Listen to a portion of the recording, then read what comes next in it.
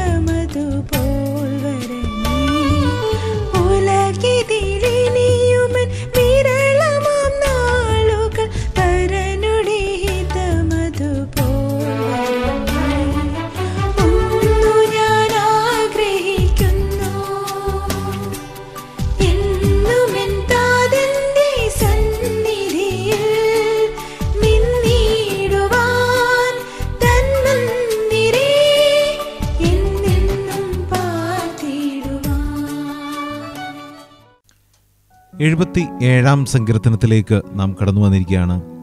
എഴുപത്തി ഏഴാം സങ്കീർത്തനം ഒന്ന് മുതൽ മൂന്ന് വരെയുള്ള വാക്യങ്ങളാണ് നാം വായിക്കുന്നത്.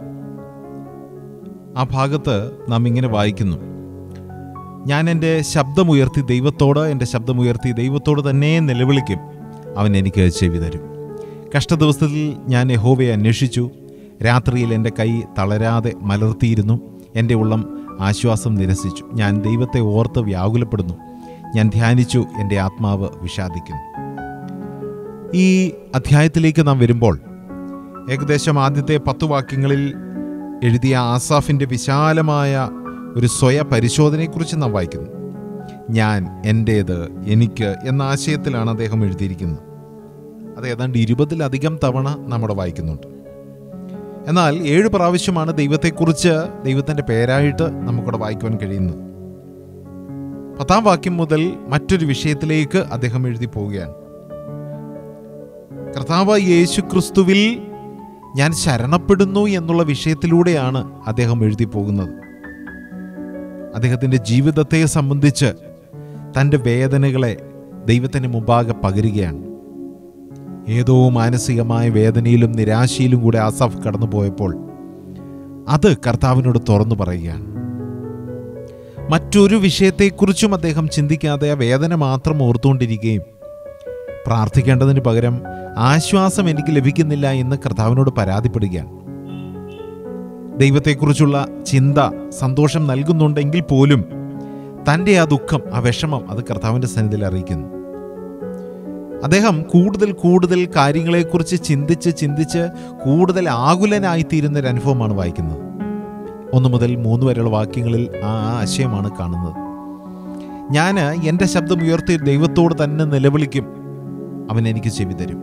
അപ്പോൾ ആസാഫിനറിയാം ഞാൻ നിലവിളിച്ചാൽ ദൈവം എനിക്ക് ചെവി തരും എന്റെ പ്രാർത്ഥന കേൾക്കും. പക്ഷേ ആസാഫേ ഇത് നിനക്കറിയാമായിരുന്നിട്ടും നീ എന്തിനാണ് ആകുലപ്പെട്ടുകൊണ്ടിരിക്കുന്നത്? സ്നേഹിത പലപ്പോഴും ഇങ്ങനെ ഒരു സ്ഥിതി നമ്മുടെയൊക്കെ ജീവിതത്തിലുണ്ട്. അറിയാം ദൈവത്തെ അറിയാം പ്രാർത്ഥനയെ അറിയാം പ്രാർത്ഥിച്ചാൽ മറുപടി കിട്ടുമെന്നറിയാം. എങ്കിലും ആകുലപ്പെട്ടു പോകുന്നൊരു സ്ഥിതി. അവിടെയാണ് കർത്താവ് നമ്മളോട് പറഞ്ഞത് ദുഃഖിക്കുകയും ഭാരപ്പെടുകയും ചെയ്യുന്നുണ്ടെങ്കിൽ ഞാൻ നിങ്ങളുടെ അടുക്കിൽ വന്ന് ഞാൻ നിങ്ങളെ ആശ്വസിപ്പിക്കാം. സ്നേഹിത ഈ ലോകം നമ്മെ ആശ്വസിപ്പിക്കുവാനുള്ള ഒരു ഒരു ഒരു സംഭവമല്ല ഒരു വ്യക്തിത്വമല്ല ഒരു വ്യക്തിയല്ല. ലോകം നമ്മെ നശിപ്പിക്കുന്നവരാണ്. ലോകത്തിലുള്ളതും നമ്മെ ആശ്വസിപ്പിക്കുകയില്ല. നമ്മെ ആശ്വസിപ്പിക്കാൻ കഴിയുള്ള ഒരേ ഒരു വ്യക്തി അത് നമ്മുടെ കർത്താവ് മാത്രമാണ്. എന്റെ കഷ്ട ദിവസത്തിൽ ഞാൻ യഹോവയെ അന്വേഷിച്ചു. രാത്രിയിൽ എന്റെ കൈ തളരാതെ മലർത്തിയിരുന്നു. എന്റെ ഉള്ളം ആശ്വാസം നിരസിച്ച് എനിക്ക് ആശ്വാസമില്ല. ഞാൻ ദൈവത്തെ ഓർത്ത് ദുഃഖിക്കുകയാണ്. ദൈവം വരുമോ കേൾക്കുമോ മറുപടി പറയുമോ? ഇതൊക്കെ അദ്ദേഹത്തിന്റെ ജീവിതത്തിലൂടെ കടന്നു പോകുന്നു എങ്കിലും ഞാൻ ധ്യാനിക്കുകയാണ്. ദൈവം വരും. അവൻ എന്റെ പ്രാർത്ഥന കേൾക്കും. എനിക്ക് ചെവി തരും സ്നേഹിത നമ്മുടെ ജീവിതത്തിൽ നമ്മുടെ പ്രാർത്ഥന കേൾക്കുന്ന ഒരുവൻ ജീവിക്കുന്നു. ആകുലപ്പെട്ടു പോകരുത്. ഒരു പ്രതിസന്ധിയിലും തളർന്നു പോകരുത്. ഒരു പ്രശ്നത്തിലും തകരരുത്. ഏത് സാഹചര്യത്തിലും ധൈര്യമായി നിൽക്കുക.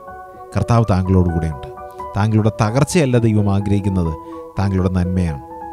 അപ്പനും അമ്മയും ഭാര്യയും മക്കളും സ്നേഹിതനും കുഞ്ഞുങ്ങളും ഈ ലോകവും എല്ലാവരും നമുക്കെതിരെ തിരിയും. എന്നാൽ അപ്പോഴും നമ്മോട് ചേർന്ന് നിൽക്കുന്ന ഒരുവൻ നമ്മുടെ കർത്താവ് മാത്രമാണ്. ഈ ദൈവത്തെ താങ്കളുടെ രഹസ്യ ജീവിതത്തിൽ രുചിച്ചറിയാൻ കഴിഞ്ഞാൽ ഇതിനേക്കാൾ അപ്പുറമായി ഒന്നുണ്ടെന്ന് നാം പറയുകയില്ല. ആ കർത്താവിന്റെ സന്നിധിയിൽ ഇരുന്ന് നമുക്ക് പ്രാർത്ഥിക്കാം. കർത്താവെ അവിടുത്തെ സ്നേഹത്തിനായിട്ട് സ്തോത്രം പരിപാലനത്തിന് സ്തോത്രം കരുതലിന് സ്തോത്രം. പലപ്പോഴും ഹൃദയം തകരുമ്പോൾ ലോകം ഓടി വന്നില്ലെങ്കിലും കർത്താവെ അവിടുന്ന് വരും എന്ന് ഞങ്ങളെ കേൾപ്പിച്ചു. മതി. അവിടുത്തെ സാന്നിധ്യം ഞങ്ങൾക്ക് മതി കർത്താവെ. ആ സാന്നിധ്യത്തിൽ ഞങ്ങളെ നിറയ്ക്കണമേ. ആ സാന്നിധ്യത്തിൽ ഞങ്ങളെ പൊതിയണമേ. അവിടെ നിന്ന് കൈവിട്ടു പോകാൻ ഞങ്ങളെ അനുവദിക്കരുത്. ആ കൃപയിൽ ഞങ്ങളെ പൊതിഞ്ഞു വഴി നടത്തണം. യേശുക്രിസ്തുവിൻ നാമത്തിൽ തന്നെ. ആമേൻ. ആമേൻ.